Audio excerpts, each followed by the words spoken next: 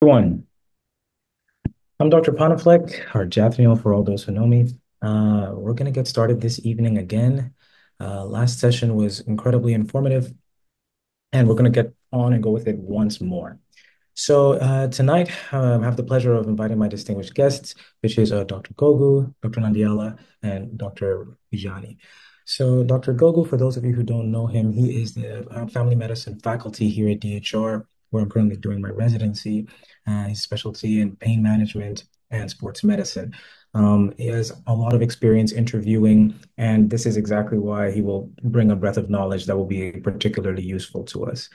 Um, next, I would like to introduce Dr. Nandiala. For those of you who don't know him, I were not there last time. He's a critical care faculty as well. Gave incredible insights um, in our previous session, and I'm sure we're going to learn a lot with him as well. Finally, last but not least, I want to introduce my mentor, Dr. Vijani.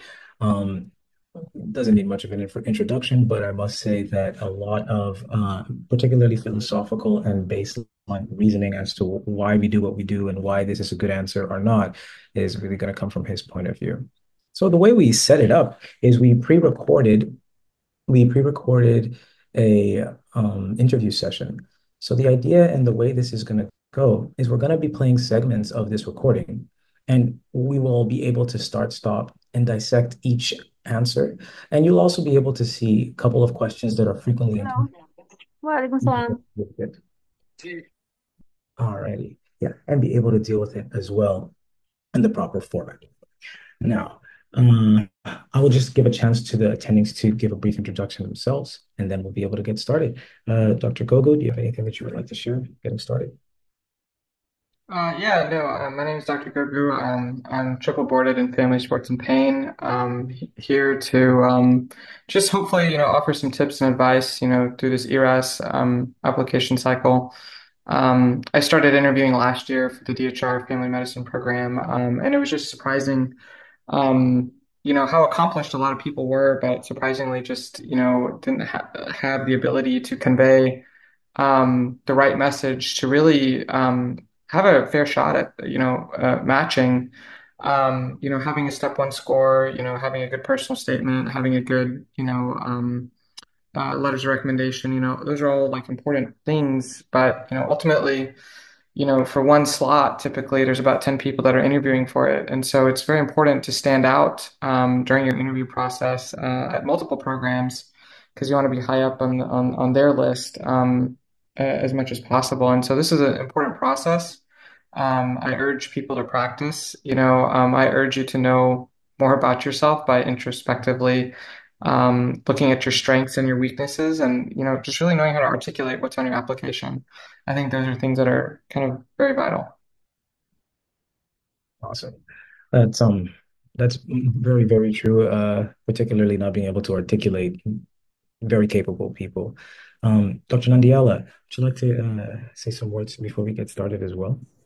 Hi, uh, good evening. Uh, my name is Dr. Nandiala. I'm one of the critical care physician. Uh, um, so um, today is, um, is, an opportunity for you all to um, um, have any questions that you have about residency interview process. Uh, most of the things for the residency application are done, like your ERAS application, LOR, CV, personal statement, everything is done.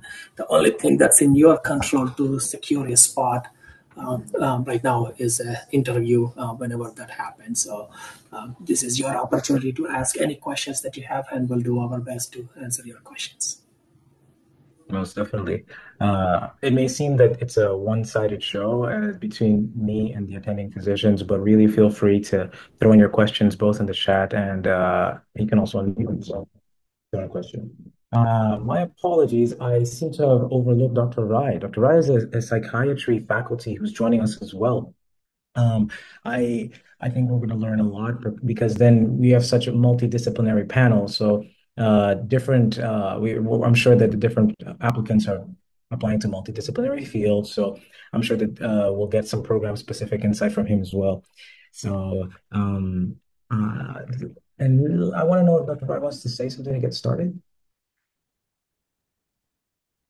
Hi, everyone. Yeah, I'm Dr. Rai. I am an adult psychiatrist. Um, Yeah, I just I'm on here. Uh, Dr. Vijani kind of asked me. I work a lot with medical students. I, I do a lot of medical students do rotations with me, so um, I help them a little bit with interview. I'm not in the interviewing process right now. I did it a couple of years ago when I was with University of Pittsburgh. But yeah, I'm just here to kind of um, if to shed some light on the psychology a little bit behind the interviewer and the interviewee. Um, some of the variations of emotions and what flows because um, you know many times you'll have i have had medical students amazing scores um, some medical students who joined me to do rotations here because they were exceptional in their scores in india and they still did not match specifically in psychiatry um, because i think the application is way beyond once you get an interview everybody is at the same same platform it really matters a lot to the faculty. Um, and sometimes, you know, in nervousness, and we can talk all about those emotions. It's, I, I, if you want some help, I can talk about, like, for example, nervousness, right? So then how do you handle it? If you're excited, how do you handle it? So I think it's an emotion game. So I'll be happy to kind of chime in and add on if, if, if, if that'll be helpful. We're, we're sure it will be helpful, sir. Uh, we're looking forward to your insight. Um, right before I introduce the last uh, um, attending on the on the panel, I want to introduce my co-resident, uh, Dr. Trivedi. Um, Dr. Trivedi and I are both in the internal medicine program here at DHR, and uh, she was instrumental in helping us set up this um, the pre-recorded interview, and I'm sure that she's going to bring also some great insights and perspectives as well. Uh, Dr. Trivedi, would you like to say some words before we get started as well? Um, hi, everyone. I'm Rishika Trivedi, second year internal medicine resident at DHR Health, and I'll be applying for gastroenterology fellowship next year. Um, I'm really grateful to be here. Um, interviews are one of the most game like they are the game changers of your whole application, and it's really helpful to have a perspective from the other side as to how the answers are perceived and how they are dissected, and uh, things that we really need to uh, keep in mind. So, um, really excited to be here and looking forward to this. Uh, Dr. Trivedi needs extra points because she's on the night float. So at any moment they can uh, they can rapture her for to deal to attend something on the on the general wards. But we're very thankful that she could be here. I'll briefly introduce myself and I'll conclude with Dr. Vijani. So uh, I'm a, also second year internal medicine resident. I'm super happy to be here as well. I'm applying to cardiology next year. Um, last session I mentioned that all these lessons are I'm going to apply myself because uh, I already did one, but this it's the same ball game all over again, and practice makes perfect. And I would like to then move on to Dr. Vijani, who is my mentor and uh, actually both of our mentors, and uh, who's setting all, all of this up. And we want to see if we can get some words from you before we get started, sir. Good evening, everyone. Good morning, everyone. Uh, depending upon what's your time zone, uh, thank you for joining us. And I think we all learn from each other. You know, um, I'm not going to say how old I am, but I do learn from my residents a lot too, because you know the energy they bring to the rounds, the uh, the thought process they come up with, the questions. Uh, the teacher is as good as the student, because if they're not going to ask me the right questions, I'm not going to give them a right answer right? So it's not only a role of a mentor which i play i think it's a give and take relationship and that's why it's it, it becomes like a family for next three years which going to go for next 30 years. So my thought process is always that interview is a psychological warfare. You you are trying to learn uh, the program and you are trying to learn yourself. And Sun Tzu long time ago said the same thing, and I quote it every single time because I love that quote. That if you if you know yourself you know your enemy you do not have to worry about the result of the war. But if you know yourself but you don't know your enemy then the bigger problem is that every every win you will have a defeat. So 50 50% chance of your victory. But if you don't know yourself and you don't know your enemy you are scum. So this is exactly what what you have to do in your life. Whenever you fall into a trap where you have an opponent doesn't matter usmle doesn't matter residency. Residency is, is even tougher even fellowship and even a life life of as an attending know your opponent very well and that's what we're going to do here why this question is asked don't go for templates i'm telling you again and again that templates not gonna give you answers because everyone's ERAS CV is different. Everyone, everyone's personal statement is different. You come up with a personality, and when your answers are templated, it creates a mismatch. And whenever there is a mismatch, doesn't matter in the lung, it doesn't matter in the heart, doesn't matter in the personality, it will always hurt you. So the goal is that today your take home point is understand the psychology of a question, go back into your subconscious mind, find out the answer, and be the best when you are in interview so that you look honest, you look a person with integrity. All right. And thank you all and enjoy the, the whole session. I'm sure we're going to do great this session. Last session was fantastic and uh, particularly getting insights from everyone. We got a lot to dive into, so without further ado, let's get going. Uh, I'm going to go ahead and start playing the sample interviews. Uh, what do you think, Doc? Should we get started that way? Alrighty, let's get going. We're excited to learn more about your background and see how your experiences align with our program. To get everything started, could you please tell me about yourself? I've always been deeply committed to the idea of using medicine as a tool to transform lives. From an early stage, I saw physicians' profound impact on their patients, not just in terms of treatment, but in providing hope and guidance. This sparked my journey into medicine. I've worked tirelessly to cultivate both the clinical skills and the compassion uh, necessary to make a meaningful difference. Um, I truly believe that uh, medicine is a calling and not just a profession and I'm excited about the opportunity to grow further in this program. Um, I, uh, especially under the mentorship uh, of esteemed leaders like yourself. Um, your work and the reputation of this program inspires me to become the best version of uh, myself as a physician. I see. Dr. Gogu, based on what you just heard, um, I want to know your perspectives. I know I want to know uh, how you would score. Would you what what comes to your mind when you hear this, sir? Yeah, you know, um, I think one, it was a pretty long answer, um, and I think you don't want to lose your audience uh, a lot of times um, when you say such uh, long answers.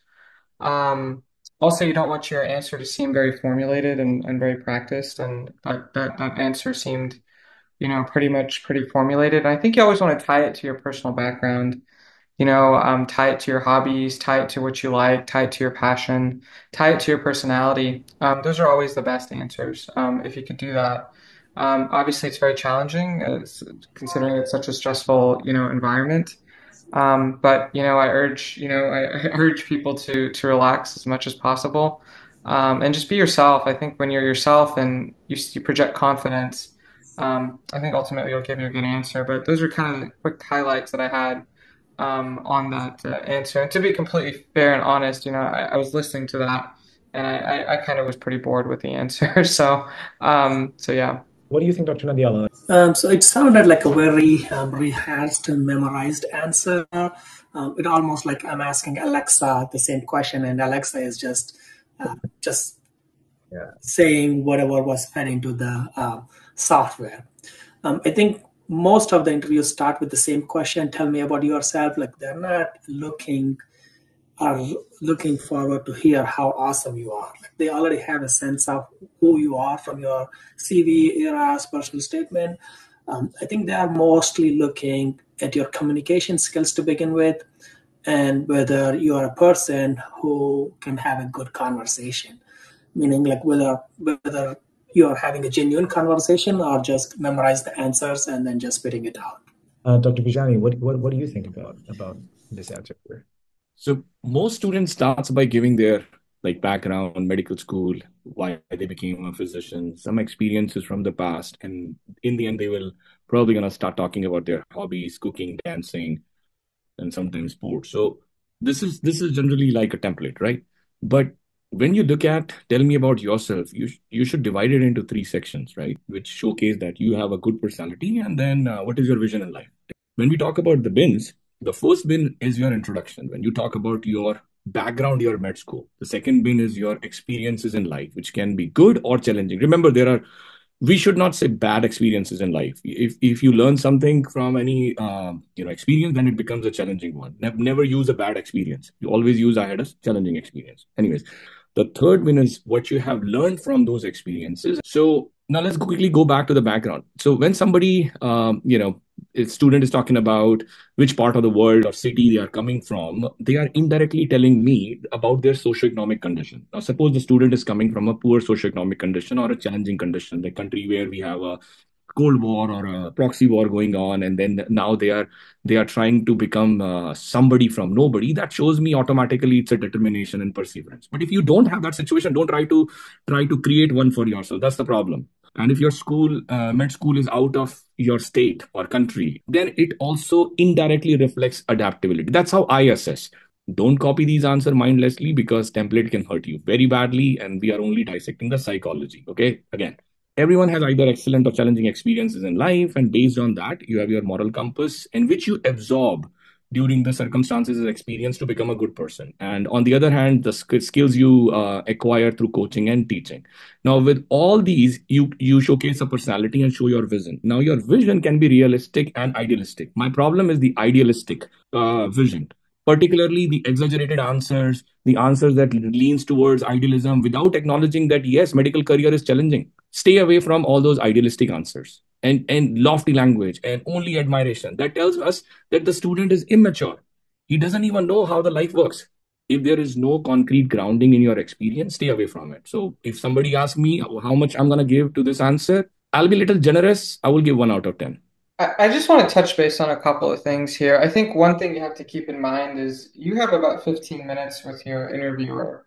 And, you know, personally interviewing candidates, one of the big things I've seen a mistake being made is when this question is asked, some people spend five to seven minutes on it.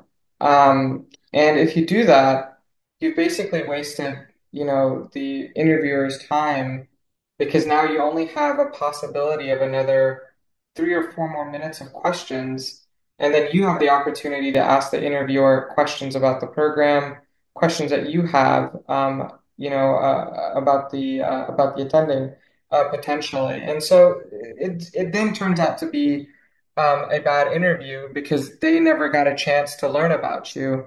And so it's very important to be succinct in your responses. And so when you when that question is asked, which it always is asked, about tell me about yourself, you know, I think you got to view it in the lens of if you were being if you were asking your best friend that question, what would you say? And so I'll give you a sample of kind of a template that I would use. There's nothing right or wrong about it.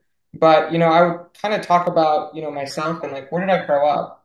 You know, I'd say, hey, I grew up in, you know, New Orleans and in that community, you know, we've been we've been struck by, you know, many natural disasters. And through that lens, you know, I've had a passion for helping for other people's. Um, and that naturally led me to pursue medicine. Um, and then you could go start on, you know, during medical school at Virginia Tech, you know, you know, I discovered my love of family medicine, you know, because there's a huge variety that it offers and the opportunity to develop long-term relationships with patients. And then I would go into the lens of, you know, outside of medicine, you know, I enjoy golfing, playing tennis, being uh, aware of, you know, current events, um, trying food, um, um, and learning about new cultures. And those are things that kind of help me maintain balance and stay grounded. And then lastly, I think one of the most important lines to say is really, I'm real excited to be here, and I really look forward to discussing how I can potentially contribute to my to your program, provided I'm given the opportunity. And I think it's always very important to showcase your excitement and not be bored. You know, not come across as being very bored that you're here or being stressed that you're here. You know, is that really somebody? If you were trying to, you know, um, meet someone or you know meet a friend or go on a date you don't want to be with someone that's very boring, for example. Um, and so it's, I think, very important to not show too much excitement, but really showcase that you're excited and you're interested in the program. And make all of that that I just said in about two minutes if you can. You don't want to spend a lot of time about that because there's so many other questions that really have to be hit. And then you have your own questions that you want to ask. And so that's kind of my template on it. And that's why I really said that the first answer was just too long-winded, long-winded, wasn't to the point. Um, and I think at the end of the day, it wasted the interviewer's time because they have so much more to go through. So that brings us to Dr. Rai, who's probably the expert in the psychological part of the warfare. So uh, I want to know your perspective, uh, Dr. Rai. What, what what do you think uh, uh, about all this so far? Yeah, so I'm gonna put it like in a very simple terms. It's it's just exactly what Dr. Gogu said. If you guys have not been on a date I mean, maybe some of you are married or something. Tell your partners, go go on a, like a 15, 20 minutes date with them and let them kind of behave like they don't know you, you don't know them. And then kind of do a feedback. Like, how did I do? Like, what would you date me? Like, would you go on a second date with me? It's kind of like a, that kind of interaction. But of course, this is very professional. In terms of psychology, um, I don't know if there are any psychiatry applicants here. I mean, this person would not even, the program director would be like, okay, let's move on to the other resident because you are dealing here with lives of people with mental health crisis. You need to have emotions. You need to have empathy. You need to understand when somebody asks you a question, how to respond. So, what I was getting to is there are two terms. I'm not sure if you guys are aware of it, but it's called transference and countertransference. Always keep in your subconscious mind whenever you're going for an interview. Of course, what the term transference is, let's say I asked you a question, right? And then you respond back. The exact reaction that Dr. Gogu was having that, oh, I feel like I felt bored. I couldn't, he's not going to be able to say that to you but you'll see in his gestures. So basically, when you have a templated answer, there is this warfare, what Dr. Vijani said, the psychological warfare. It's the warfare of transference and countertransference. And the interview just goes downhill after that, which you can see in this one that the, the I, I listen to everything. So my one thing on this is when you guys go into this, just be a little bit mindful of this that's the psychology that's playing when you are interviewing with with someone um, when you are starting an interview um, i think this applies to all the whatever field you're applying into is really being engaged and leaving the question a little bit open-ended because you are there to learn you are there to kind of know know that from them if you are a good fit or not so when you are asked about yourself, you tell, okay, this is what everything Dr. Gogu said. I'm not going to repeat that. Okay. You, you then come, I'm like, I'm very, like the whole thing about I'm very excited. Um, you have to open the question in a way that you lead the interviewer te- you have to tempt them to ask you the second question. It has to be connected. It's such an amazing play that goes on. Uh, when you are having a conversation with someone. And that will ease that anxiety too. Take pauses, take a deep breath. Huh, okay, this is a good question. You, you have you seen those things when someone is being interviewed and then you'll say, Oh, this is a really good question. Maybe they're taking a pause at that time. Maybe that's not a good question, but they're taking a pause. They're they're working on their sympathetic and parasympathetic nervous system. Do that as much as you as you can. And I think the interview will then then flow well. And in the countertransference, in the uh, I'm not sure if that's the right word, though, but in the sense of like seeing, like losing confidence as you're seeing their facial expressions kind of uh, go. Is that what you're referring to, though? Yeah, and then they will say something, or they will just shut. They will won't say anything, and then it's just like then then the interviewer will also be like, "Huh, okay, I think in this also, mm, mm, mm, that's very interesting." like when you say these two or three words that's countertransference like okay i have nothing else because you when there is no back and forth play of conversation then this means that there is this something else that's building up between the interviewer and the interviewee so yeah Dr. you look like you want to say something, sir. Um, you got something to add? I have a question for you guys, you know, my residents. You know mm. all these medical students or, and the graduates they sit with you guys in a in a private chat room right? Sometimes you guys are asking they are asking them questions they are asking you guys some questions.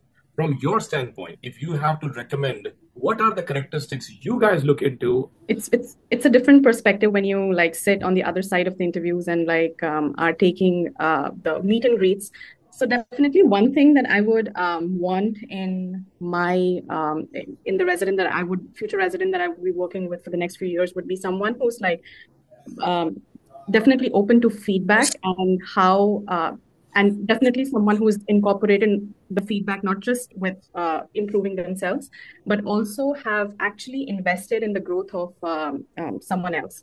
Because um, I feel like as a team team it's it's a really important quality to have and I have learned the most from my co-residents. And one of the uh, residents that I really um, appreciate working with was Jack Neal. He helped me so much in ICU. He was not just um, uh, worried about him learning the ICU um, uh, uh, imagings and everything, but even focused on me. He taught me how, uh, different procedures and all of those things because you definitely want to have someone who's like, hey, um, so you have that hyponatremia patient, right? Um, I read this article and it has a, a, great algorithm. Why don't we go over and just discuss that? And it might just like help us and uh, let's discuss what are your thoughts. So someone like someone like that, um, one of those qualities uh, is something that I would really appreciate to have uh, in the upcoming um, resident uh, applicants.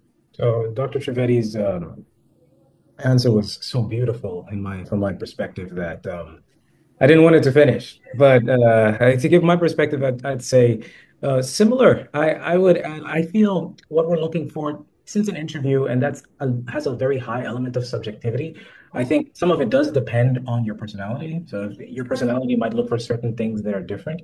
Um, one thing that I think that transcends all personalities is I think almost everyone wants somebody that's pleasant, um, someone that has integrity. Which I remember my last my last rotation with Dr. Vijani, like right before we left, he was like, "So, what's the definition of integrity?" I just I just busted my brain on a patient, and he just threw that on me. And I remember I liked the way he went about it. He's like, "No, integrity is what you do when no one is looking," and uh, it's very hard to figure that out from someone, but sometimes we can feel a bit of it. It's sometimes misleading, but it's something that we're looking for. We're looking for signs of integrity, uh, looking for signs of humility, um, easy coachability. So, like uh, Rishika was saying, feedback, like if they can accept feedback, yes or no. I think uh, things along the lines of punctuality, professionalism, those are like a given. Um, uh, those are given, and they should be there for all of us who are professionals in this field. But I think those are those that transcend all all um, all specialties, particularly because we've all been there. We're busy, and then if someone's very pushy or uh, someone's just trying to show off or very egotistical, like uh, Dr. Jad was mentioning, uh, you can really feel the ego really quickly, and um, those tend to be turnoffs for almost anyone because it, it creates strife and it becomes problematic. It's a stressful environment already in the hospital don't need you to add stress to it. You want when you're getting smashed with patients, you want someone that's pleasant, someone that's going to learn with you, someone that's going to stick with you, someone who's not lazy. So that's really what you're looking for. So I think like one of the things like I want to add um, in addition to what Sujan, Praveen, and um, Abhishek said was like I think most of us consider interview to be very stressful, uh, but in fact residency interviews are not stressful. We just make it out to be stressful. In fact, it's a very chill environment. They are not trying to grill you on like your final year practical exam where your professional uh, your professor is gung ho on failing you. Um, so these are very low stress in, um, environment, and they are just trying to get you uh, to tell them who you are as a person. Um, imagine like you you went to a big conference and you see some well-known name, and then you have some questions. You just go and ask them like in a polite manner and enthusiastic, curious, right? Um, you won't go to him.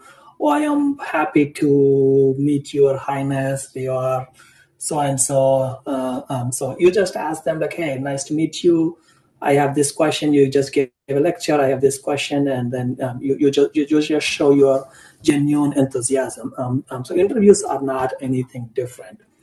Um, Abhishek mentioned one thing. Um, if you keep going on, tell me about yourself, um, they're not looking to hear how perfect you are or how awesome you are. They are just trying to initiate a conversation. But um, if you keep going on and on, on and on to a point where they feel, okay, it's all about you, they already lost the interest. And then whatever questions they want to ask is just, uh, um, they just wants to move on and then get over with you, basically. So they will keep nodding, uh huh, uh huh, and then they probably won't even be hearing what you are telling them also if you have a rehashed and then memorized answers that you are just jotting down basically you are trying to get over that answer so you are in a hurry. The attending probably have heard those rehashed answer probably a million times so he knows this is a fake answer that you just memorized and then he wants to get over that interview as well. So not only you are rushing him to finish his questions thereby not utilizing that opportunity to impress him. Um, like Abhishek mentioned, if you are truly genuine, like you will have a normal conversation, like with a friend, like you met him at a party, you want to know him a little better, common friend, and you will have a normal conversation, right? Uh, you, you won't say like, I am very privileged to meet you at your esteemed program. Like not every program is an esteemed program. Not every attending who interviews you is an esteemed attending. And we all know, like, like, hey, like I'm not an esteemed attending that you are making it out to be. Um, so um, be genuine, and um, it's not stressful at all unless you take stress on yourself. Yeah, I like that. Particularly, we heap up way more pressure on ourselves than we need to, and that kind of inhibits us before we can even get started. And we, yeah, that's a very important point. Let's get started with the next question. All right. B. Okay. But then why internal medicine?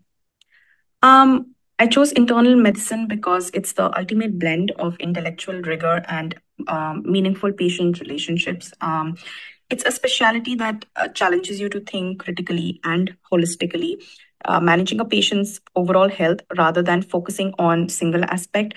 Um, but more than that, it's the chance to be the anchor in someone's healthcare journey, building lasting relationships that truly matter. I'm particularly uh, drawn to the um, field because of the incredible clinicians um, like yourself who inspire me to be uh, me with their depth of knowledge, their empathy, and uh, their ability to see the whole person, not just a disease. Uh, I want to embody those same qualities as I grow into a physician who makes a lasting impact on my patients' lives. All right. So that was the second question. Why IM is going to be asked all the time. I, I mean, I really do feel that this is very much, it's so staged. It's as if like very much, um, I just don't feel adept. And in the beginning, Dr. Uh, Vijani said about conscious and unconscious mind. Um, it's very important to connect with someone to intermittently when you are when you're passionate about something and uh, they ask you which field so you really have to be passionate about this field right? So that's the moment that you want to tap into a little bit of your unconscious mind and what's an unconscious mind is something that motivated you. Like people write about their grandmothers and something in their village or something that motivated them. Dr Gogu was talking about the new orleans thing or something. So really this is your opportunity this is your one time opportunity to use that and then really connect. You don't know maybe or probably you should know actually if you really want to be smart about like preparing for something, look it up if the program director is from New Orleans or the program director went on something to India or traveled something and did a project.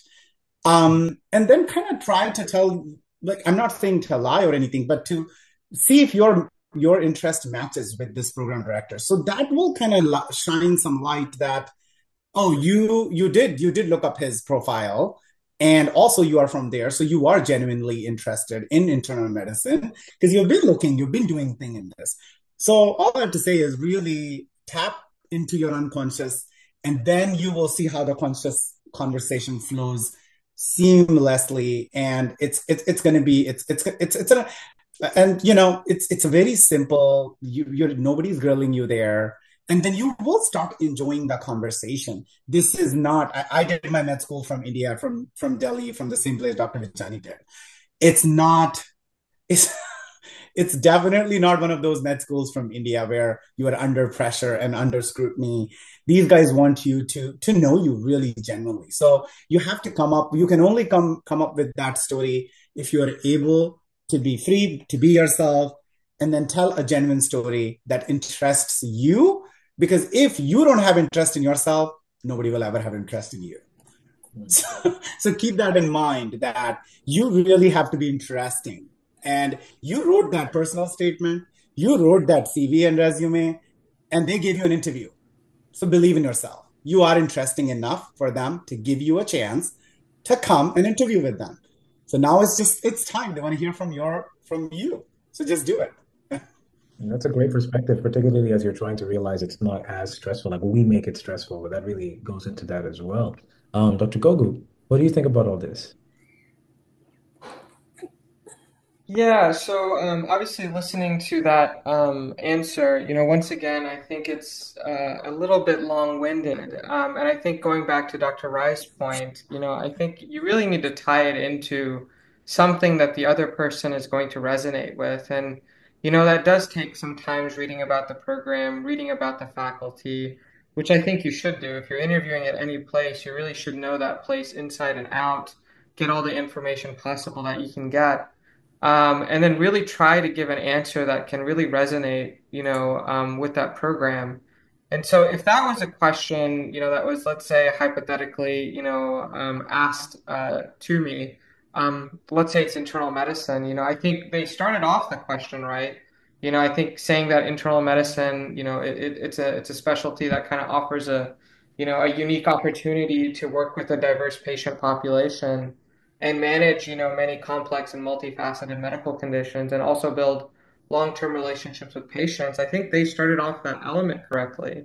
But I think this is a real good opportunity to say, you know, my I, I became really solidified with choosing a specialty like internal medicine because I had great observerships that really drew my interest um, into IM, you know, or I had really good clinical rotations that drew my interest into IM. I was really drawn by the intellectual challenges during that time of doing these observerships in diagnosing and managing complex cases. You know, I also had the opportunity to do case reports, publish this, you know, at national conferences. Um, you know, I, I think that's kind of, you want to kind of highlight some of the things that you've had an opportunity to do. And then I think you also want to highlight, you know, I'd be real excited to potentially, you know, go to a program such as yours um, because it really does offer a strong foundation for lifelong learning. And it does allow for like primary care and specialty opportunities with good experiences. I don't know whether I'm going to choose to be in a general IM setting or some specialty, um, but you know I have the ability to adapt at such a place, at such an institution. And so I'm not an internal medicine doctor, but you know that's uh, the only reason I started with that is because uh, Jack Niles started with an IM question of why IM. But I think you really want to hit uh, hit um, those type of bullet points um, and really kind of tie um, some of those things together and formulate a good response. That makes perfect sense. I, I, totally agree. And, and Dr. Nandiala, you want to add something to this? We're all going in this same direction of um, really um, hitting the, the bullet points that that are why your specialty and not really going on this rehearsed um, um, recording in a way that you you kind of rehearse and remember.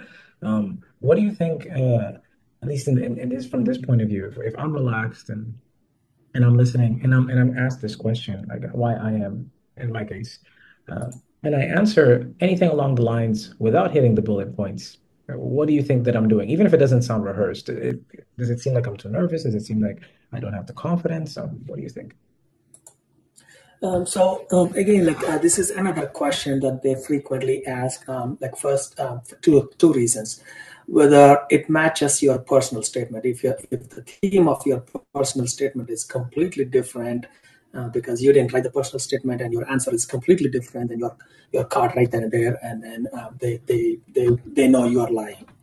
The other thing is like uh, basically all they are looking for is uh, authenticity. They want to understand um, if you are motivated to this specialty or this is a backup um, and they're not looking for unique reasons to pick a specialty like not everybody can have a unique reason it can be a simple reason like a, just you are you, you have a very good clinical rotations in IM or whatever specialty you're choosing, or it could be a mentor who have influenced you to pick this specialty, or it could be any reason.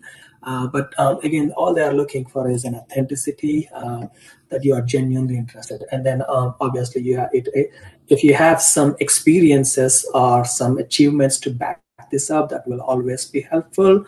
Or even otherwise, you can tell them like what you plan to achieve out of this uh, specialty residency. Perfect. And just concluding with Dr. Vijay, uh, what, what, is, what are your thoughts? So the answer that was given can be applied to any branch. A lot of patients, complexity of cases, continuity of care. Surgeon does the same work. Psychiatrist does the same job. FM does the same thing. We do the same thing. Mm-hmm. So how did you deduce that IM is your calling? So go back to your your school time, right? Uh, I hated history and geography at that time. So when you choose a subject, it's a it's a it's your educational choice. But when you are choosing a specialty after your med school, is actually your occupational choice. There is a huge difference between your occupational choice and uh, and your educational choice. You can say, "Oh yeah, I want to I want to heal human body." Yeah, okay, that's why I took biology and I became a doctor. But now from there, I want to become a surgeon. That's your occupational choice. I will give question 4 out of 10, which is very very generous from my side because it did discuss the educational aspect of choosing that particular subspecialty, but not the occupational side. When you look at the occupational standpoint, you need to know the working hours. Is your specialty more focused on inpatient or outpatient or both, or you can switch, right? Do you like to talk to patients a lot, or you are more focused on, okay, hospital medicine fix out. Is there any fellowship you can become an expert in? What is the pay grade, right? That's also important and is there any growth, uh, you know, opportunity for growth in that particular specialty? Everybody loves to showcase only the educational choices. Okay, so you need to showcase that you have actually understood this branch from the occupational standpoint. That's why I will I will give it four out of, of ten. And on this next question, I will just reach out to a random uh, applicant that's here, and we'll see what their scoring is, what they think about it, and their insights as well. That way, we can open the table to everyone else as well. All right. So this is the next question. Um, please share a strength with us, a strength that you consider. Uh, my greatest strength is my unwavering dedication to excellence. I approach every situation um, with a mindset of giving 110%, uh, whether it's patient care, uh, research, or teamwork. I believe that success is found in the details um, and the small everyday actions that build towards a larger goal. This dedication uh, stems from my respect for the great mentors I've had, like yourself, um, who show the true excellence in not just being knowledgeable, but um, about continuously striving for improvement. I know that this strength will allow me to thrive in a program like this, where high standards of care and education are paramount. Well, that's definitely an asset. Right. So, would you have responded the exact same way as the interviewer responded, um, Dr. Gogu, um, to that answer? You know, I thought it was a pretty uh, decent answer. Um, I don't think it was um, entirely, um, you know, uh, terrible. Um, I think they did a decent enough job, you know, um, applying their strength to medicine. Um, to um, other aspects of their life um, as well. So I think that was, um, you know, a pretty decent answer. So I wouldn't I wouldn't criticize it too much. Well, we'll go with Dr. Desta then. Uh, want to know how how would you score this um, the answer to this question? Um, can you hear me well? Hear you perfectly, loud and clear. Okay, thank you. So first of all, I would like to say thank you for the opportunity uh, that you uh, gave us this kind of session. And uh, I think the answer is in, in terms of content, it's good, but uh, if I have to score it, maybe I would give it five. Because um, for one thing, it was a little bit exaggerated uh, with 110%, 100 something percent.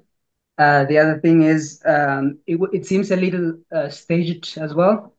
Um, and the other one is it didn't give much of example uh, like when she she was answering, there should have been an example related to the um, to the strengths she was referring to. All right. Yeah, she wasted like you have limited time and limited words, and just go around buttering the patient, the the the, uh, attending who's interviewing you up. Um, what do you think, Dr. Nandiala? So I think the content of the answer, like I have no problems, but the way the content was delivered, again, it seems very rehashed. Alexa style answers. Um, most of the time when the interviewer asks your strength, um, they are not, I mean, they know your strengths more or less from your CV. Um, there may be few other things that you can highlight which are not mentioned in your CV or the application, but I think what they're trying to assess is your self-awareness and then not only your strength, how you are actually pursuing your capabilities. Are you overestimating yourself? Are you underestimating? Are you self-aware of your capabilities? Or like you think you are the best when your other ERAS application doesn't match what you're telling me. Everybody will say like I am a perfectionist, I'm hardworking, like I, I work 30 hours a day. Um, uh, again, that's where um, they are looking for self-awareness, like what you perceive um, uh, what your I mean, you have your strengths, but how much you're pursuing that strength to be. Are you pursuing your strength as 200% related to other people? Um, that's what I think they are trying to um, analyze. Most people think I have to list all my strengths like A to Z, and that will impress the interviewer. But uh, I think you you have to pick a couple of your strengths and then um, slowly blend into your personality. uh, without being over exaggerating. Uh, and then they all they all look for humbleness in spite of your strengths. It looks like someone can get a pretty good um, psychological and personality perspective with this question. Uh, Dr. Ray, anything you wish to add to to this? this I mean, we all know it is staged, so um, I wouldn't say much. Again, the same uh, analyst about the content of it, but you have to be very mindful. There is a subtle difference between are you confident, are you arrogant, are you resilient, really, or you are saying, "Oh, I, have been like, I'm, I'm coming from this country and da da da, da but still I'm here." So you have to be the words change changes everything. So when you are confident, you have to balance it with humility, and because when you are when you show humility you are i mean i'm kind of going into these emotional categories but you then build trust Um, i really do think when these questions come why internal medicine? What are your strengths? Why? The program is really looking if you will fit in in their structure or are you like dr trivedi said that she would like someone who would come let's read about hyponatremia because so can she trust you? Can the program really trust you? You just just go back and ask yourself who do you trust more in your life? Do you trust people who are arrogant? Would you ever ask them? I would never go back to my. I do not email or text any of my attending from India, not to bash them, but there are few who I still stay in touch with because they were very humble. They were happy in my in my success. But there are a lot of them. You all know when you if you come from India, Pakistan. I'm not sure about the other countries. Um, so really show that humbleness. I did not see much of that in this like so you really when you are conversing with someone um the superman does not have to say he is a superman. So be very mindful. It's by your act. Like dr trivedi explained something and you went ahead and said oh i just i wish i could just listen to her right? She didn't have to say she's a superwoman. So kind of keep that in mind that with your words and selection of your words in an interview you can make a huge difference. But for that, really, you have to kind of be humble. You have to, the, it has to come from within. Otherwise, it, it just comes along as something else when you're nervous. So, because it's, it's, it's a high stress state. So start training yourself. What we are telling you here, all the panelists are telling here that it's not really a very high stress state. It's a conversation and you just have to be authentic. Mm-hmm. Dr. Vijani, I think you're the last here. Yes, sir. What, what, what do you think? Now, what is actually strength? So I don't know how many of you guys have actually watched a movie Kung Fu Panda, but they use the concept of Bruce Lee. I fear not the man who has practiced 10,000 kicks once, but I fear the man who has practiced one kick 10,000 times. That's your strength, the thing which you practice daily, which can be your empathy, can be your communication, can be your teamwork or critical thinking. But you should be ready to give a lot of examples. So, and again, in this answer, I don't see any specific examples, only flattering words that literally shows the disconnection from the reality in the clinical world. Clinical world is very different. All right. So uh, again, being a devil's advocate, I will give it three and a half out of ten.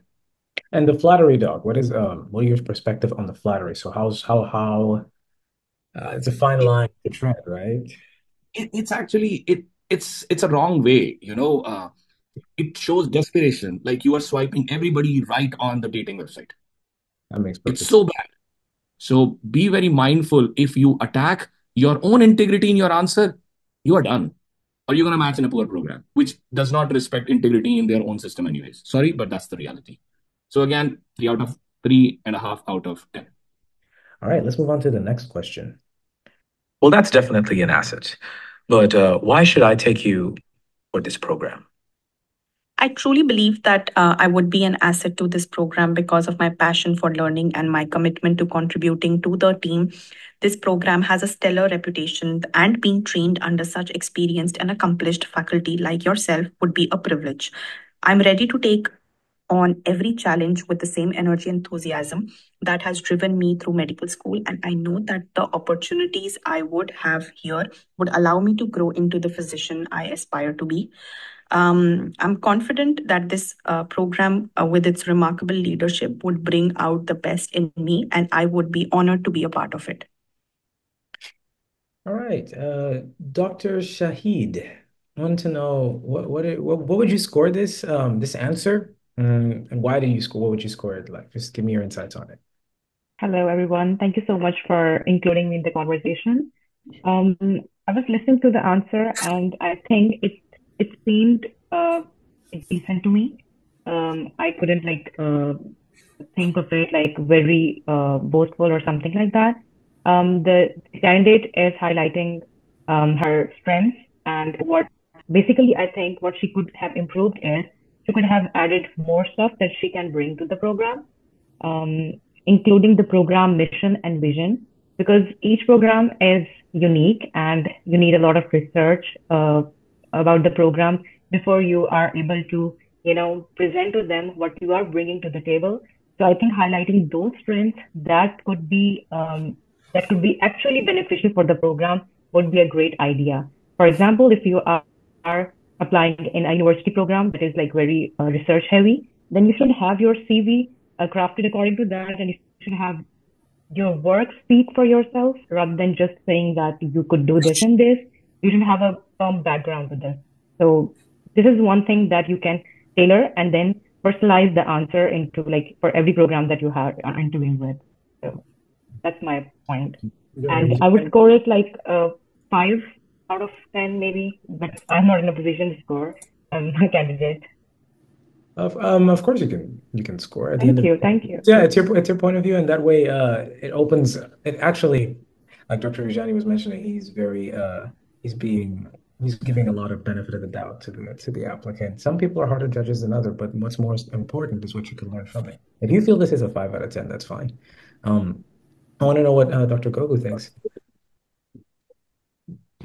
Yeah, um, a couple of things. I think one, uh, I, I think this uh, statement was pretty um, pretty robotic, and I do agree with the uh, the applicant. I think you definitely want to tie it into their mission, want to tie in tie it into the community particularly. I think you got to always showcase um, whatever your program you end up, you know, interviewing for. You really need to understand its community, um, and you need to understand the mission of the program. Um, I also think some of the things that's very important to highlight um, is usually the night before, usually attend a uh, a resident mixer or a you know uh, a pre-interview dinner. And I think a lot of times through that pre-interview dinner um, or that resident um, uh, meet and greet the day before the interview, you really get to hear from the residents about the program, and there obviously be things that you're drawn to. And I think it's very important to highlight that, you know, especially the things that that you were drawn to. You know, obviously try to read about it the night of, try to learn more, um, but really try to maybe showcase some of those things into your answer. You know, it might be that they might say that there's a particular clinic that, you know, um, is underserved. There's a lot of procedural training there. Um, that might be something that excites you and might be something to say uh, about why you consider their program. You just don't want your answer to be kind of robotic. You want to use all the clues and, and, and resources that are available to you to just formulate a response. Uh, Dr. Nandiala, do you have any insights on, on this one from, from the perspective of what the answer was? Um, yeah, uh, again, I'm becoming a little repetitive, but uh, the entire answer like uh, um, seems very rehashed. Like, um, let's assume like uh, she is, um, I know her as a person, and then she is um, asking me if I can recommend her to a hospital where I have some contacts.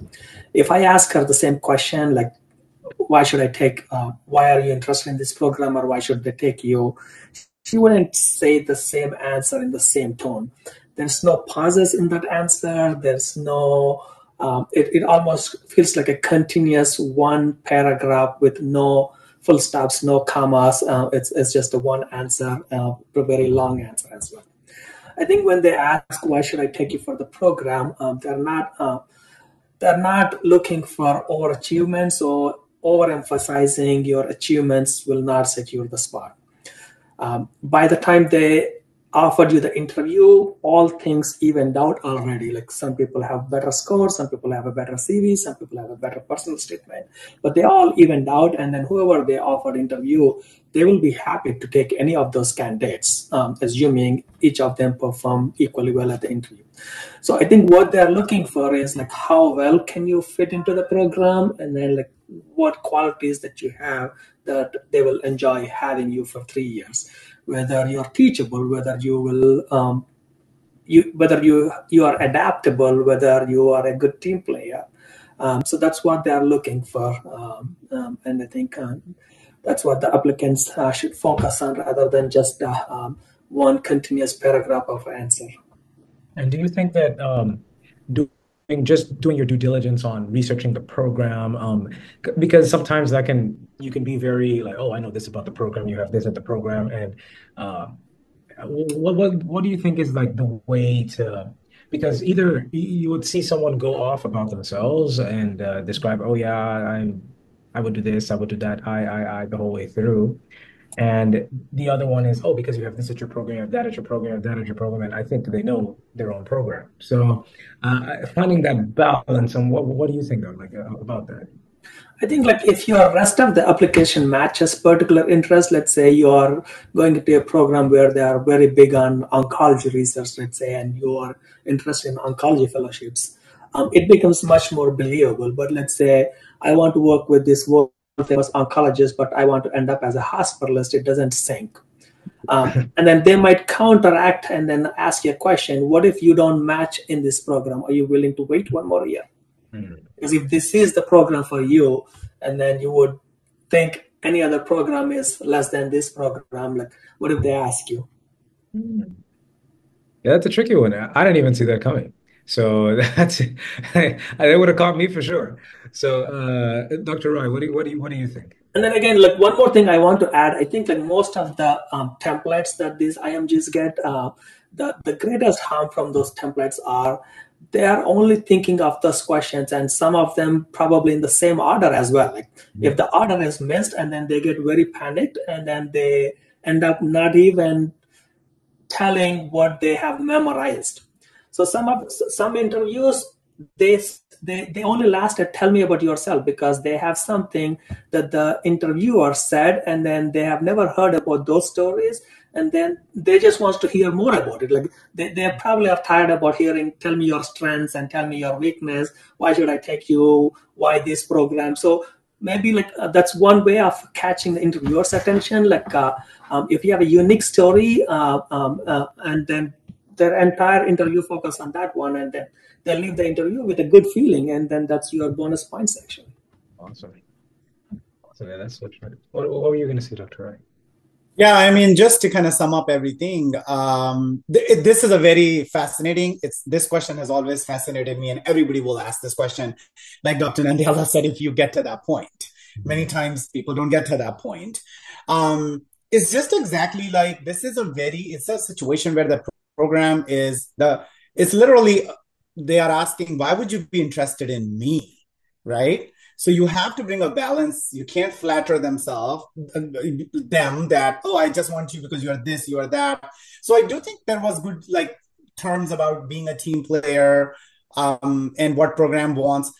But when you really want to answer this question, I see it from, again, coming from the point of psychology, it's more like, what are the goals of the program, which I hear most of the panelists saying. What are the goals of the program? You need to read about it.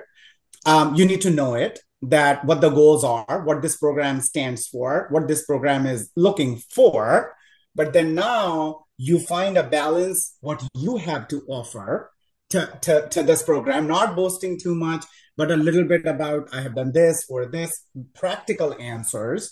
And then finding a common balance there that, yeah, this is my little bit my background. This is what interests me. And the program goals are, I know this program is doing this, this, this, or certain attending is doing this and that's why this is what i i feel like so you have to know the goals you have to match it with your goal so i i feel this is a little bit of a tough question i have always in the past when i interviewed the candidate what dr Nandiala said i always felt going back and forth because it's i am asking you am i interesting enough to you so I am going to be in a position that I'm going to defend myself a little bit, or I'm going to be like, oh, yeah, that's fascinating. So by this time in the interview, you really have to get the attention of the interviewer. And you can only do that relaxed. You can only do that when you're honest. And this is where I really feel the matching starts. Okay, am I going to match this? I mean, again, Dr. Gogu can tell more about it. I was in this process a few years ago because, oh, yeah, now, okay. This is where you have the chance to go six, seven, eight. So don't fake, don't flatter, don't talk don't tell them about their own program they run the program they have listed it they know what their program has to offer but you have to show them again i feel like if they're asking you why this program but they also want you to to, to show that you're going to be a good match um, and give examples stories um, i think that's that's the best way now to climb that ladder and get those extra points that they are like okay i'm going to put them in the matching category uh, dr vijay I'm keen to hear your insights as well. I'll do the score first. Uh, this time, three out of 10. And uh, I totally agree with Dr. Rai. A couple of uh, minutes ago, maybe half an hour ago, Dr. Rai was talking about confidence and humility, a combination of that, right? So there's a very fine balance, or I should say proportion, which I I think it should be a part of your answer. Any deviation from your confidence, you will you will land up in overconfident zone, or anything from humility, you will become an arrogant applicant. So it needs to be a very fine balance. And before discussing your strength, you should compare your the your values with the program's goal and vision. So remember, it doesn't matter how sharp the saber is. If the saber sheath is not a good fit and they are of different sizes, they are not compatible, they are useless to each other. If it doesn't matter how sharp you are, it doesn't matter how good you are. If you and the program are on two different pages, then uh, then they're not going to take you. If you showcase that I have 50 research, I have I have uh, 20 uh, multivariate analysis, I have done this and this and this, and you are you are interviewing in a in a community hospital where they want you to be a clinician and they want to see if you have taken care of a patient. You are not you are not hiding behind a desk and writing all this with the help of chat gpt then definitely they're going to say okay thank you. You will match in a bigger program because we want a clinician here. So if you're a mismatch then that's a problem. Exactly. Uh, let's move on with the next question here but why this program uh, I have researched many programs, but this only uh, this one uh, truly stands out as the ideal place for me to grow as a physician. Uh, the combination of your world class faculty, cutting edge re- research opportunities, and the dedication to serving a diverse patient population is exactly what I'm looking for. What draws me most, however, is the strong sense of mentorship and guidance that I've heard so much about. To be um, trained by the leaders like yourself who have such a profound impact, not only in medicine, but in shaping the next generation of doctors, is an opportunity I deeply value. I'm confident that this program will help me achieve my full potential and I hope to contribute to its continued success. All right, there. We're going to go ahead and see Dr. Spice, Dr. Allison Spice. Uh, want to know what you uh, think. Uh, what, what would you score it and your thoughts? Uh, I probably would score it between a four and a five. Um, I definitely feel that it was one rehearsed, two. It was a little bit on the shorter side, I think, um, as far as when it comes to comes to it. Um, you want to f- obviously do like you of you have been reiterating is do the research on the actual program. So find something that is very unique to that program or highlight about that program, or even potentially uh, initiative that maybe the program director is working on. Um, or even uh, the residents may be doing on. It could be for some programs, they might be going to have an elective abroad. It could be something that they're trying to implement a new fellowship for ultrasound um, or different types of things um, that they may be doing. They might be having approach for social economics or within the community. But those are the things that you want to kind of hone in in something more specific and not necessarily just in a general consensus of what the program that you would say to any program, right? Type idea. There's no fully generic answer that you can apply to. Very program specific, isn't it? Exactly. Uh, Dr. Nandiala, aside from it being rehearsed, sure. What do you? What else do you think, and how would you score it, sir? I think uh, this one has a couple of good points. She did mention that she has heard that uh, um, they have a good mentorship program, uh, which is very program specific and they, um, if they ask questions about that one, she should be able to elaborate as well. I think this is uh, basically they're trying to figure out uh, figure out if you have researched their programs, and then um, if um, I mean if you're a good enough applicant, they are also trying to figure out if you would actually rank them highly enough.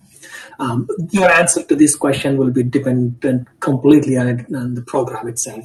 If it's a university setting, your answers will be a lot different to if it's a community setting, your answers will be a lot different. Uh, obviously, you can go to a community setting and say world-class research, all that stuff. And so, um, I mean, I don't think there's a generalized answer for this one. Like it's completely program specific, and then what you're looking for in a program, and what's your career goals are um, after the residency as. Perfect. Uh, moving on to Dr. Gogu, do you have anything that you wish to want to add, sir? Yeah, no, I think uh, everyone kind of took some of my words on it. I think the main things that I'd like to touch on is obviously do your research about the program. You know, use the the dinner or the pre-interview dinner and really understand the program um, that night, and you know, combine the two of what you did, what you learned the night before, and the research you've done to really formulate a response. And always look into the community that the program is a part of. You know, is it part of a huge you know, a Latin population? Is there a big African American population around there that you're treating? Is there a big uninsured population? I think really try to understand uh, the community um, is very vital. And then obviously, um, you know, there's certain interests that obviously draw you to that program. Every program has strengths, every program has weaknesses. Um, and really, you know, um, try to align yourself with the strengths and, and um, formulate a response in, in that way. Most definitely. Um, Doc, Dr. Rai, you have any anything to add to this as well?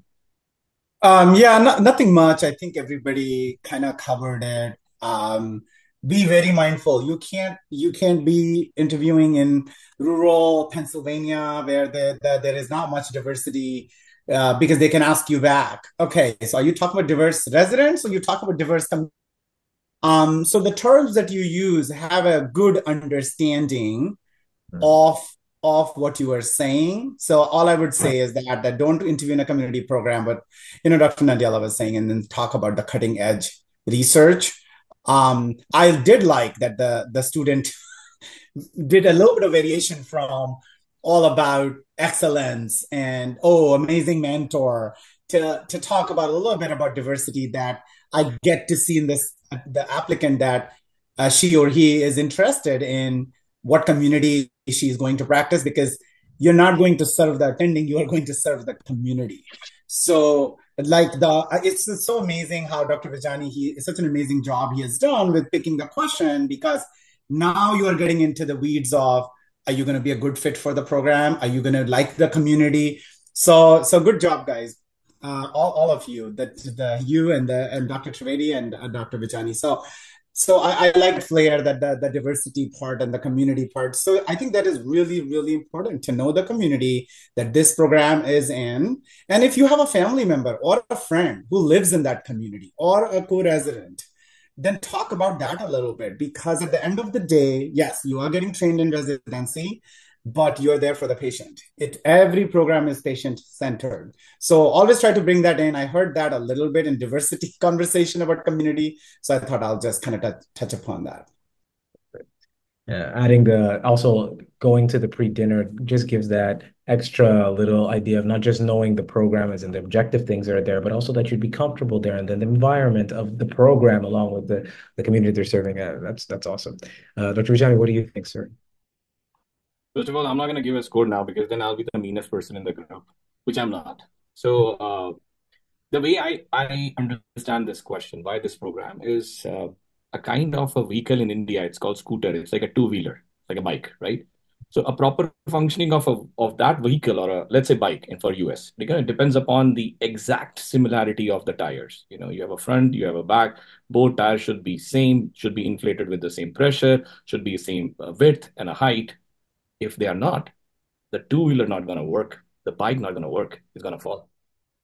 So the interviewer wants to assess that there is an alignment between you and the program. Do you understand the program or not?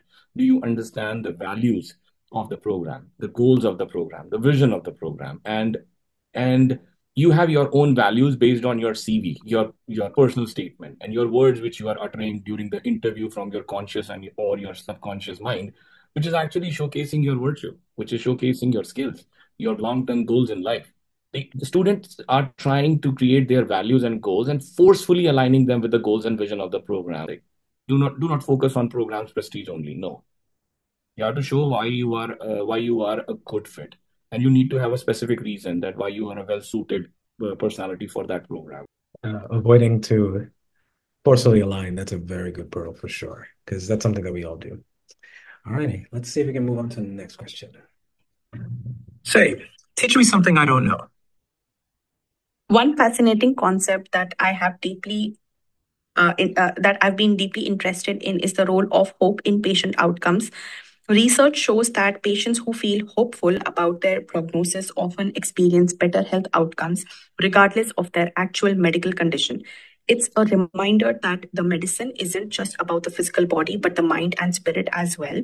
I strive to bring this philosophy into my practice, always making sure that my patients feel supported and empowered um, uh, I am sure you've seen this countless times in your own practice, um, where your ability to inspire hope in patients has undoubtedly led to uh, remarkable outcomes. Alrighty then. So let's go on and ask Dr. Su. Not sure if I'm pronouncing your pronouncing your name correctly. Hitetsu Soe? I'm not sure if I'm pronouncing it correctly. If I'm butchering it, I'm sorry about that. And if you're not there, we'll go with Dr. Maheshwari. What do you think? Hmm. Don't see anyone there. All right, we'll go with uh, Dr. Arora. Dr. Ashpreet Singh Arora. What is, what is your opinion on this? And uh, how would you score? How would you score the the answer that, that the applicant gave? First of all, very thankful to everyone for doing this. And uh, as for the answer, I feel the composition, the words are good, but the answer sounds very like recorded and rehearsed. And I feel like whenever you say an answer on any interview, it should feel very spontaneous. And uh, yeah, but the content is definitely good. Mm-hmm. So what what would you what would you score it as? So out of ten, from zero to ten. I'd say it's a decent six out of ten. Decent six. That's solid. Uh, Dr. Nandiala, what do you think? You give it a six? And uh, do you agree that the topic of choosing hope, all that, do you think that that was a good one? Um, so this is that this this question I'm hearing for the first time as well. So it caught me by surprise as well. Uh, but the way I see it, like I think like the interviewer is just trying to see if this person has a life outside medicine um, everything was about medicine. And once in a while, this is your opportunity. If you're interviewing, this is your opportunity to ease things, to lighten the atmosphere a little bit. It can be a simple thing. And I, I don't think it's a good idea to teach an interviewer something in medicine. You're just playing with their ego, basically. So it, it could be a simple joke, one of those daddy's jokes, a simple Sudoku puzzle or whatever, like it, it, just to lighten the atmosphere. Uh, so the interviewer also feels good actually. Like if he doesn't know something non-medical, he wouldn't feel as bad as you teaching him something medical. Well, that's important to watch out for for sure. Um, don't want to bite the hand that's feeding you. Uh, Dr. Dr. Gogu, what do you think, sir? I think Dr. Gogu has to step out. Oh. He just texted me. Okay. I think we'll just go with Dr. Rai then. Rai, what do you think, sir? I mean, I think I, to me, it's a very fascinating question. I really do like this question that what can you teach? Um, because this is your moment to show all these qualities that you write in your CV about being a leader and all that. Um, I think she approached it pretty well. I like the answer about hope and mind, body, spirit, and maybe my personal bias. I like that at least this student is opening up and adding these terms. Um, again, what Dr. Vijani has said before, you have to give a, an answer. I would love to hear something where in medical school, maybe this student got a chance and was able to express and was able to teach something and did not even know that they were doing that. Or uh, a story with a mentor, like the mentor was actually a patient taught you something. So those moments where you the patient is not really wanting to teach you something but patient said something and then you learn from it you know um, I, I really do remember those moments in my own medical school when my attendings were really tough on me about not remem- remembering the labs during the rounds and literally this one patient said to me that next time when the attending comes they, they will write the labs on their hands so i can read it off because the attending wouldn't allow me so you can teach humility you can teach some of these gratitude and humbleness and they are the, the so just an example came to my mind. I don't think I was asked this question. So Dr. Nandiala is right. Probably, I don't know if this is even asked. Uh, but this is one of those moments that you can really, really connect with the interviewer. But these are the questions you can't frame it, guys. This is you can't be chat GPT. This is a real life question. And if you don't have an answer or you don't have any teaching moments, what Dr. Nandiala said, just kind of be gentle about it and then just don't answer it. But these are the questions you have to, I feel personally, you have to give a teaching moment kind of answer a real life answer to, to really connect with the interviewer. Perfect. Uh, Dr. Panaflex, sorry, uh, this is Dr. So. When you asked me, I was collecting my thoughts. So, Wow. yeah, for that, uh, yeah.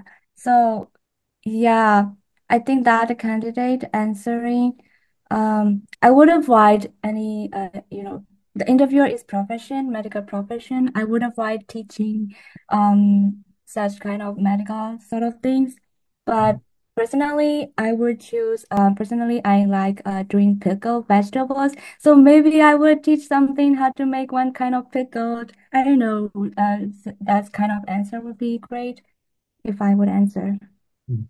Yeah, something something different, something showing you Right. that Yeah. aspect of your life, right? Yeah. Yeah. Well, that's yeah, that, that that's exactly what the most likely what they're asking, particularly if you listen to the tone of the interviewer when he's asking it, right? Mm. Uh, Dr. Vijani, what do you think? Yeah, sure. Yeah. And someone said that teach them about your culture. Mhm. Exactly. That's also going to help. It, it also shows that uh, you're willing to share right. exactly trade culture, Yeah. cultural aspects. Exactly. Uh, Dr. Vijani, what do you think, sir? let's say talk, talking about some abstract concept, culture, love, empathy. Everyone has different meaning. Religion, everyone has different meaning. So when you when you showcase, then I'm gonna teach you something that already telling them that hey, I'm gonna impose this meaning of this particular word on you. So for me, hope may be a totally different thing. For a person who is dying, hope may be totally different for him. That's why everybody has a different meaning of DNR DNI, right? You know, so we have to be very careful what abstract concept we are using. I generally prefer to have a concrete topic, like you know that Dr. Nandiala was talking about. So then, rather than you can focus on something related to your hobby. Like for example, one of my observer, she was very good in uh, interior designing, so she knew all about limestone uh, walls. Something where where you have more objectivity rather than subjectivity. The interviewer wants to gauge your teaching ability, straightforward your communication skill by putting you on the spot to, to check if you can think on your feet or not. One. Second, if you have intellectual curiosity outside medicine, if there is no depth in your answer, there is no specificity in your answer, and it is only flattering, it's an abstract concept, then then you will get one out of 10 from at least me. Even gives you a chance to establish a bond and create more trust rather than go the opposite direction if you deal with it poorly. Alrighty, let's go to the next question. Okay, you captured that well. Tell me about your typical workday. My typical workday is centered around making a lasting difference in my patients' lives. I approach each day with a sense of purpose, knowing that every interaction I have, whether it's with patients, colleagues, or mentors, is an opportunity to learn, grow, and make an impact. I spend the time connecting with patients, not just treating their condition, but truly understanding with their concerns, um, their concerns and what matters to them. My goal is to provide the kind of care that transforms their outlook on health. I constantly think about how great physicians like yourself approach patient care, and I strive to emulate uh, that level of empathy and precision into my own practice. I want to know what you think about the, the response and what would you score it? And then give me your reasons, please. Uh, I don't know how will I score it, but yeah, it it uh, the answer is fully contained all the fancy words and uh, it shows that patient is really dedicated to, uh, right now uh, she is dedicated towards the medicine. So i think it is really decent answer. But uh, what if uh, some uh, some applicant is not aligned with their medicine work currently, so how can they present their um, suppose they are doing some kind of voluntary work, right? So how can they present themselves? So yeah, uh, I, I'm expecting that kind of uh, que- uh, answers as well. All right. So, uh, Dr. Rai, what do you think, sir? Uh, How would you score it, and uh, do you think the, the applicant went about it the right way? Yeah, I mean, I, I'll leave it for Dr. Vijani to, to, to score this. Um, I just, this is just, it's the same pattern, I feel like. It's just a lot, lot of boastful um, answer. I, again, just commenting on the psychology of it, it's just so boring. And uh, it's it's very, very, the one word is repetitive. Um, and uh, by this time, I would like to like have a back and forth conversation, but this kind of answer, I'm not going to ask you any question back. Probably just move on to the another question. So yeah, not much to to add from the psychology point of view because it's very flat. It's very like boastful, you know. That makes sense. Don't want to seem over arrogant either. Dr. Vijani, uh, what, what are your thoughts about it? How you manage your time. Are you an organized person? What are your ethics when you work? How you handle your workflow? How's your stress in your life as uh, during work? Do you have self-discipline? Do you follow the law of accountability, or you push everything on your on your friends? Like, hey, it's not my mistake. This is his fault, right? Are you a dependable person when the when the team is in a problem? Are you the one who will be like, okay, I'm I'm the one who can who can handle this for now? Are you a team player? Yeah, can you balance your active learning and patient care as a as a resident? That's a that's a very important aspect. It is very important that your answer should not look polished. It should not look idealistic. It should not have a lot of abstract ideas that you're gonna make a huge difference. It should not look like it's too good to be true. So acknowledge that you know you can have challenges, you can have constraint when you work. You, you should have a reality of working in a healthcare Mm, Most definitely. That was very insightful for sure. Getting to a close here. Got two more questions. Let's go on to the next one. into my own practice. Okay. One weakness? Um, um, uh, my weakness is that I sometimes set uh, such high expectations for myself and others because I believe in constantly striving for perfection. Uh, I hold myself to an incredibly high standard, and I have um, had to learn that not everything will go according to plan, especially in medicine. However, this idealism also drives me to work harder and push myself constant to constantly improve. Just like the great mentors I've had, including yourself, I'm working on finding a balance between setting high standards and being more realistic in my expectations. It sounds like you've given this a lot of thought. All right. Um, Dr. Nandiala, kind of left you out on the last question there. What um what, what what is your opinion on this one? Yeah, I think like again, when they ask you about your weakness, they are just looking for genuineness. Not all weakness have to have a plan to overcome. Not all weakness needs to be overcome. If somebody asks me like, "What's your weakness?" I will say, "I've been planning to start exercising for the last two decades, but I still didn't start, and that's okay. I have no shame in admitting. I don't think the interviewer would mind that me not exercising would be a misfit for the residency. So um, you, you just have to be genuine. If you have a weakness that you are able to overcome, um, that's great. Uh, but don't brag about it. Uh, be humble about your weakness and how you are able to overcome it.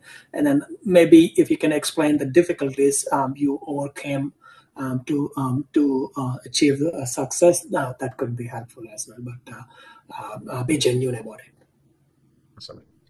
Uh, Dr. Dr. Rai, I would love to know your thoughts as well, sir. Yeah, I mean, the same thing. When someone asks about your weakness, it's not like they are going to target you. Uh, they just want to know a little bit about you more because sharing your weakness is a mindset of being able to be vulnerable. Vulnerability is a strength. If somebody could be just imagine people people laugh at stuff. Oh, this model walked the ramp and she was wearing short dresses or whatever. You can never match the strength of a model who walks the ramp, who wears short dresses or whatever kind of dresses. Okay. So they are just wanting to see if you can be vulnerable.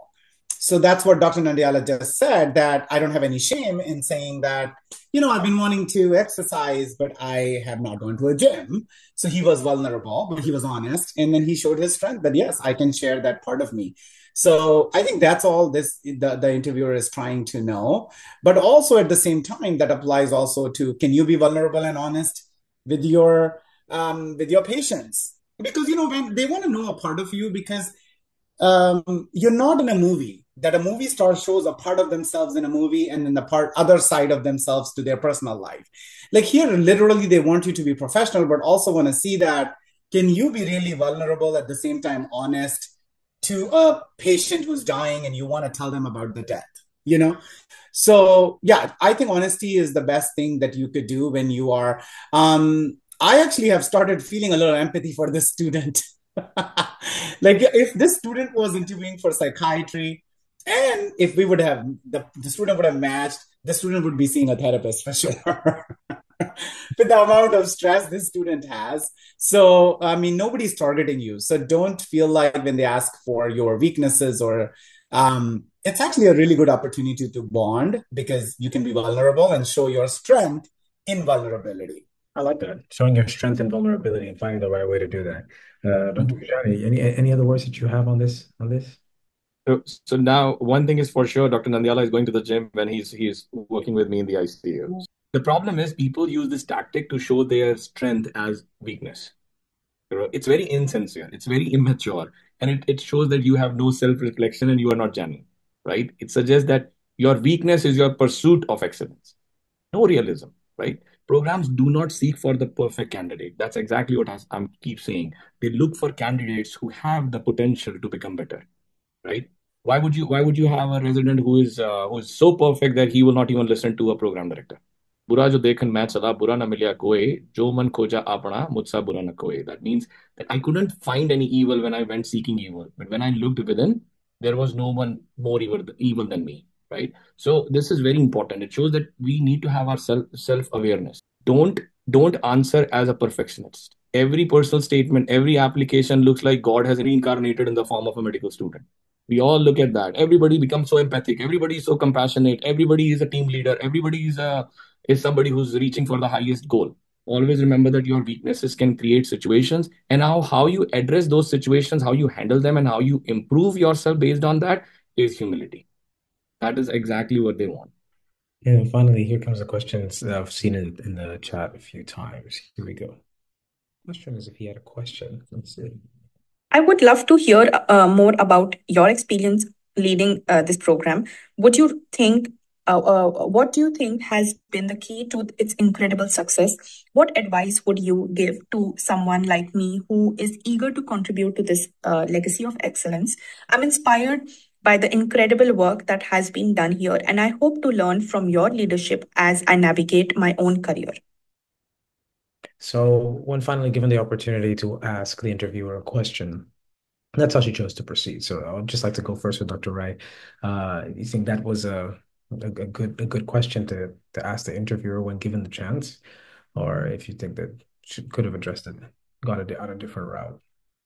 I think I mean this is the moment where you can go really in depth and um and ask some. I mean I I mean again this is a very staged uh, scenario, but I really feel when they ask, "Do you have any question for me?" or it's a sign that actually you have done very well and they're almost at the closure and they're really interested in you. You can only reach there once you have done well. Um, you this is something I, I would say that you have to be prepared for. You can't prepare it at the last minute. That I do think when you go for it, when you are genuinely interested in this program, you have to have a set of questions it could be anywhere. This is a moment where you incorporate oh i'm I, am i am married. I'm trying to raise a family here. What would you tell me about you know schools here? Or um, anything related to community related to i'm very interested in hiking or i have been a national swimmer or so i think this is a moment where you can really connect with this attending and the attending would be like you know what? I would like this resident to be in my community and would like them to be my neighbor or maybe because um I know you guys, I don't know how, how many of you have done rotations here, but uh, joining a residency, there's so much emphasis right now on Um, I never, when I was in my residency, in as a psychiatrist, we were we were allowed to and were at certain times supposed to see a psychoanalyst, but we get way more and more referral from family medicine, from internal medicine, because the emphasis on stress and wellness is just at a very different level right now, in, in specifically in the United States. Um, so I would take this opportunity to really show that what were your what are your questions that okay now I'm at a point that I might be given a chance of matching in this program. So what all would I want to ask this person? You love Indian food. Oh, I just want to know. I mean, maybe the the the one of the interviewers said, "Yeah, I like Indian food, Indian food, and there is this restaurant." Ask ask one of the resident about. Okay, is there are there Indian groceries, Indian communities, or so be genuine. You just does not have to be really. It could be very much like what really you want to know, because now you both agree that you might actually uh, rank this program high up, and you want this program also to rank you. Perfect. Uh, Dr. Nandiala, I would, like your, your perspective as well, sir. So usually this is the last question before concluding the interview. So um, it, it, it is an opportunity for the applicant to make the interviewer feel good. It's like a movie climax, basically. You need to have a happy ending. So you, um, the one thing the applicants should not do is ask uncomfortable questions to the interviewer and let them leave the interview with a bad feeling. Like, don't ask them like, "Hey, we heard that one of the resident got fired last year," or "We heard that there's a crime in the area." Make them feel comfortable answering your questions. And in fact, if if it was me, I would ask them questions that they can brag about. So that gives a sense of happiness, and then they leave with a feeling, "Okay, I I also did well," and then this resident um, uh, is a good candidate. So if at all there's anything, um, I would ask them a question that he is very comfortable or in fact can brag about it. I, I like that perspective for sure. And then don't leave a bad taste in their mouth. And finally, uh, Dr. Vijani, what, what are your insights? Hmm. So this, uh, so technically, when the program is asking this question, it's it's more or less like a courtesy, and uh, you are given a chance, or let's say, an option to ask a very practical question. For me, let's leave our psychology from from this question for a time being let's just focus on the practical aspect of this so please do not ask questions to and, and the other thing is do not ask the questions which showcase your strength. Like if you have 50 researchers in your in your uh, cv and suddenly you start asking do you have a research coordinator or a research wing in your residency? So that you are reminding the program hey i'm a good researcher. No doesn't go very well. And uh, do not ask everybody knows this thing that do not ask the question which is already available on website and you can go you can check and if you ask that question that will show that you have not done your homework. Most of the time whenever there is an interview for first one hour and 30 minutes the program will brag about itself. Every single thing which is not written in the on the website. So please write it down in, in front of them. So even if you need to compare the programs you can. On the other hand, if you don't have any question, right, that means two things. Either all of your questions have been answered and you should be able to convey this message clearly to the interviewer. That makes perfect sense. Uh, we we've come to the end of our simulated interview. I really hope everyone enjoyed and learned a ton from this. As we're drawing to a close, I'm going to give a chance for all of the attendings to um, give their final parting words. Um, and I would like to first get started with uh, Dr. Nandiala.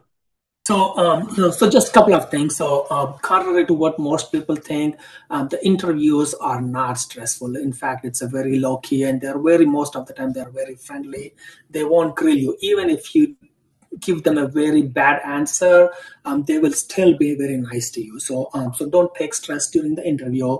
And then at the the most important thing is be genuine. Um, they have probably seen like thousands of applicants and they have interviewed thousands of people. So they can easily figure out who is faking, who is just rehashing the memorized answer. So be genuine. Programs hate nothing more than um, lying and fakeness. So um, they're not looking for a perfect candidate. Um, and then as an IMG, most of you will match into community programs and they all know like if you're so perfect, you wouldn't even rank them. So they're not looking for perfect candidates. They're looking for somebody who can learn, uh, who is humble, who gets the work done, who is hardworking. That's all they're looking for. And as well as like they, they, they also, they are also looking for people who can mingle with each other. Uh, so be genuine, uh, don't take any stress, and then um, um, every answer should be your own answer. So a lot of people are still asking, like, what is the best answer? There is no best answer. Your answer is the best answer. And that can be a worst answer for a different applicant. So, so just be genuine and then uh, uh, be authentic. Perfect. And uh, concluding with Dr. Vijani, what what what would you what words would you leave us with after this uh, very dynamic session? So always remember, my my philosophy of life is very straightforward. Everything around you is a psychological warfare. You have to stay humble when you interview. Um, this situation reminds me of a quote about Alexander the Great, which describes how he possessed immense physical and mental power, yet even in every victory, he showed respect and grace by bowing his head, even though he had a very strong uh, domination. So, despite ruling over the vast land, sitting on a throne, he remained grounded and modest. So, he left a message for future kings that true greatness is in the power or wealth.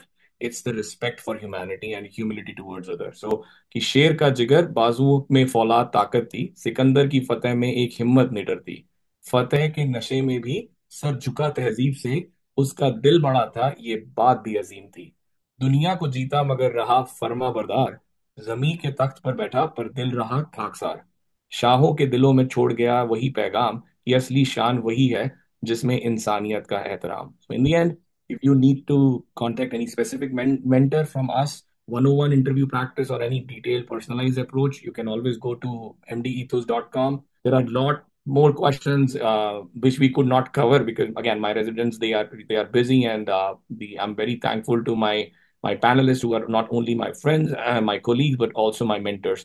So um, with all this, all the best from the team MD Ethos. And if you have any questions, please reach out to us at mdethos.com.